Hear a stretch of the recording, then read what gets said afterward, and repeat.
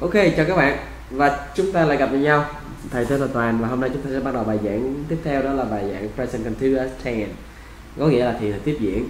Thì điều rất là dễ đúng không ạ? Chúng ta sạch rất là nhanh. Và thầy có ví dụ sau. I'm giving classes right now. Là tôi đang dạy học bây giờ đúng không ạ? My mother is working now. Mẹ tôi đang làm việc. Và the students are paying attention at this moment. À, những học viên thì đang tập trung chú ý vào thời điểm ngay bây giờ đúng không ạ các? Thì cái thì này rất là đơn giản chúng ta sẽ đi vào xem xem cấu trúc của ngữ pháp bên trong như thế nào để chúng ta hoàn thiện bài tập cho tốt nhé như các bạn thấy là hãy khẳng định affirmative và thì thấy là chữ play, đó là trường hợp. Nếu là ai, là you, là we, là t thì chúng ta là như thế nào thì như thế nào? Đối với ai thì nó luôn đi với em và phẩy em hoặc là kéo, dấu trophy đó các bạn, dấu phẩy trên, đúng không ạ? Hai là cái trường hợp thứ hai đó là bạn dùng you we và they. Chúng ta phải đi với r và trường hợp he she it thì chúng ta đi với y. Bạn nhớ nhá đây là trường hợp đi với to be và verb in thì luôn luôn là verb in chủ ngữ cộng động từ to be và cộng verb in. Trong các bạn của chúng ta thì à, tương ứng với mỗi chủ ngữ thì chúng ta có các loại to be khác nhau. Và phía sau là to be trường hợp chữ play là chúng ta thêm in. À, trong trường hợp interrogative. Và trường hợp negative như thế nào? Interrogative là dạng câu hỏi. Và negative là như thế nào thì nếu mà trong negative là dạng phủ định. Trong trường hợp là dạng câu hỏi thì rất là đơn giản, bạn đưa to be lên đầu câu đó mà. Đưa am lên, đưa a lên và đưa y lên, tùy vào chủ ngữ mà bạn dùng, cái chữ am và ia khác nhau. Và bạn vẫn giữ nguyên là verb là playing. Trường hợp ví dụ như ai là am I playing, are you playing, are we playing, are they playing? Hoặc trường hợp À, CCS thì he playing vân vân. Vân vân. Chữ negative, trong trường hợp negative là trường hợp phủ định thì chúng ta chỉ rất là đơn giản đó, các bạn. Các bạn chỉ cần thêm not phía sau trong một từ be thôi. Ví dụ như I'm not playing. You not playing. We're not playing. They are not playing. And he's not playing, vân vân. Đúng không ạ? Hoặc trong trường hợp các viết tắt của I'm not, chúng ta có phải am and not hoặc a not chúng ta sẽ đọc là and nếu mà um, uh, um phải not không chúng ta đọc là um not. Alright. Are not thì đọc là aren't chứ không phải là aren't đâu đọc đọc là aren't và trường hợp là is not is not chúng ta sẽ đọc là isn't. Alright. Và thầy có một câu ví dụ sao Is playing football at the moment? Thấy không ạ? Đây là một câu hỏi mà chúng ta đưa is lên đầu câu phải đi đọc từ là he playing. Chúng ta thêm in sang động từ đúng không ạ? No, he isn't. He is running. Anh ấy có đang chơi bóng đá hay không? Oh, no, anh ấy không có chơi bóng đá bây giờ, anh ấy đang chạy. Bạn nhớ là khi người ta hỏi is thì bạn phải trả lời is No he isn't Nếu mà yes thì là yes he is. What is she doing?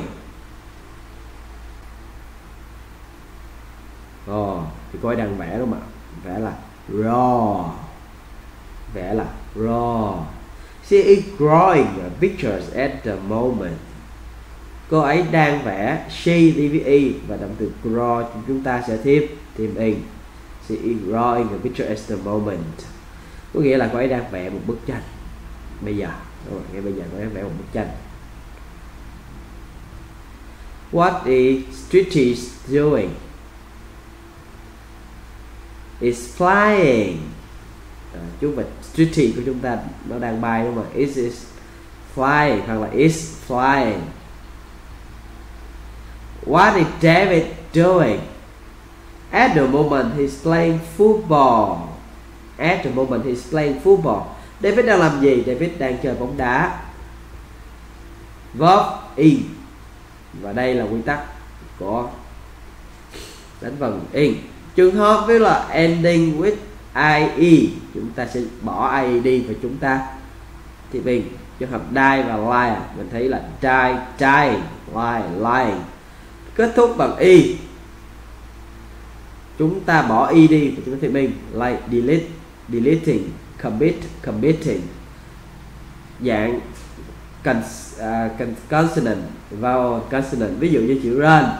Mình thấy một một vowel nằm giữa hai consonant. Tiếng việt nghĩa là à, một à, nguyên âm nằm giữa hai phụ âm hoặc là chữ stop với t o và p.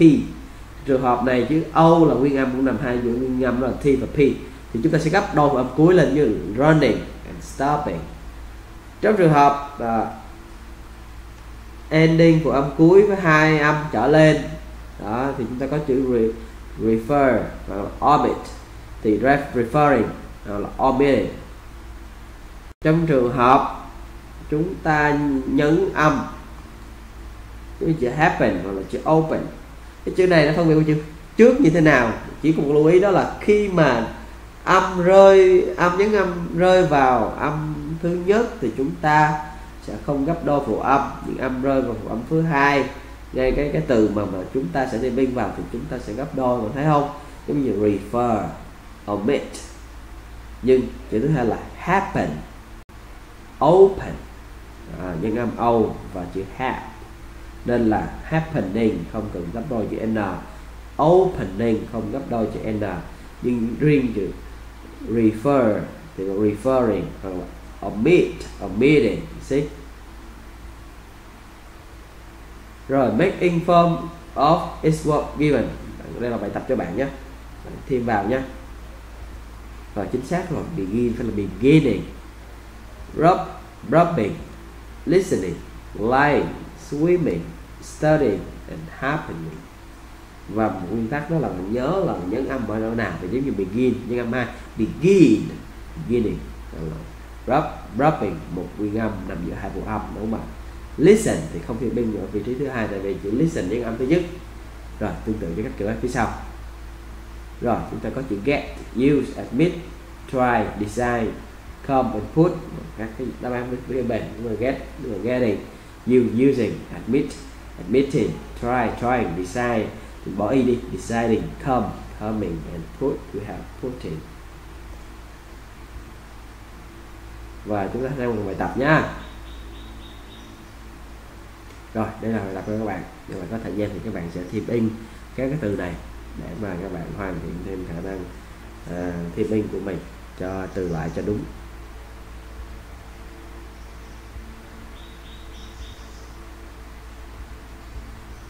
Đây là đáp án mà rồi they dancing right now thì cái đơn thì bạn lưu ý là nó sẽ thể hiện những cái hoạt động đang xảy ra. Việc thứ hai là những cái hoạt động tạm thời. They normally play tennis, but this week they are skating. Thì thông thường thì họ sẽ chơi tennis, nhưng mà tuần này thì họ đang trượt, đúng không ạ? They're skating, trượt ván. Và được ba tim. Changing situation, các tình huống thay đổi tình huống. Ví dụ, yesterday it was very sunny see today is raining more and more. À, thay đổi những cái tình huống. À, đi hình nhắc lại tí nhé. Vậy thì ờ, hiện tại tiếp diễn thì ta nói cái vấn đề đang xảy ra hiện tại. Thay đổi thói quen một tí tạm thời. Và đây là thay đổi tình huống thay đổi. Ví dụ là thường ngày thì trời rất là nắng nhưng ngày hôm nay trời thì mưa đúng không ạ? Yesterday it was very sunny. Today it's raining more and more. And future arrangement sự sắp xếp trong tương lai như thế nào? Thứ tư là gì như thế nào? They are celebrating a party next weekend. Họ sẽ tổ chức một bữa tiệc và tuần tới. Bạn nhớ là trường hợp tương lai thì chúng ta có chung nữa cùng will sao cộng zero thì trường hợp là 50 50 có thể xảy ra và không thể xảy ra. Trong trường hợp nếu bạn dùng mà verb in như thế này, đó là present continuous, để chỉ tương lai, tức là hiện tại tiếp diễn chỉ tương lai, thì chắc chắn việc này nó sẽ xảy ra. Ví dụ như là họ, khi họ nói, họ sẽ tổ chức bữa tiệc vào tuần tới. Trong trường hợp này accelerating thì một trăm phần trăm là tuần tới là họ sẽ làm việc này.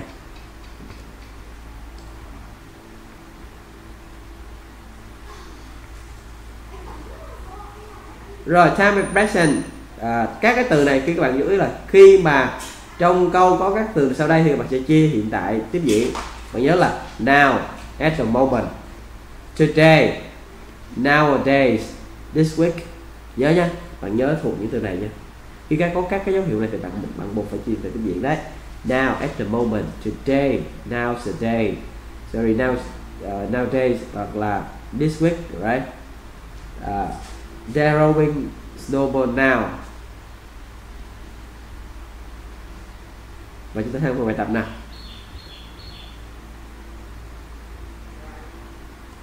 See, đây là đoạn văn dành cho bạn là Hey my name is Jobs. Today are holidays. May 1st, the workers' day.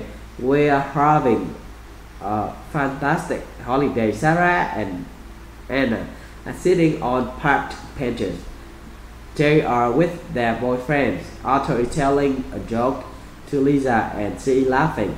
Peter is listening to the radio and reading. Mr. Silva is selling ice creams at the beach. Mrs. Dantas is walking her dog at the park. It is fishing at the light pole. Bob is riding a bike. He having so much fun. Mr. Dantas is park, parking his car in a prohibited place. The traffic cop is Edward is finding him. I'm sitting on the beach. I'm eating an ice cream. Alice and Paul are swimming in the sea. David is taking pictures of his friends. They are jumping. Tom is in the park. he is playing soccer with his friends. John and Robert who is the goalkeeper. Everybody happy except Mr. Dantas and Edward. Thì bạn thấy là đoạn văn này dùng thì rất là nhiều thì tiếp diện để mình diễn tả những cái việc mà đang diễn ra tại bãi biển xung quanh của bạn George.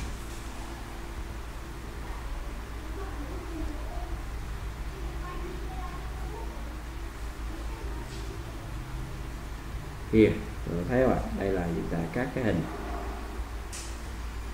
Rồi thank you các bạn rất là nhiều cho cái việc mà các bạn đã dành thời gian để các bạn xem mình nhận cái thời ngày hôm nay. Và bạn nhớ nha thì hiện tại đơn rất là đơn giản. Sorry hiện tại tiếng diện rất là đơn giản đúng mà bạn sử dụng tiết diện rất là nhiều trong cuộc sống của các bạn. Ví dụ như diễn tả cái gì đó đang diễn ra đang xảy ra thì mình dùng để tiết diễn à, thank you các bạn rất là nhiều và hy vọng các bạn các bạn mình nhận sau